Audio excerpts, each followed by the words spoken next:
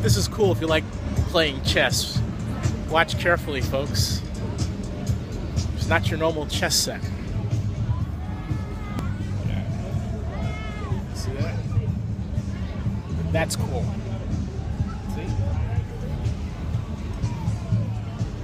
From the looks from the looks of things, let's see here. Somebody is getting their tail kicked. Either that or either that or I'm who who won? Not sure. Oh, he's still going? Not sure. Well, we have to, we have to pack it up. Oh, I had to pack it up. Okay, because I thought somebody was getting their butt kicked. I saw those uh, whites out there. They're, they're, about, they're about even. About even? About even. These kids were killing it. Is this your idea?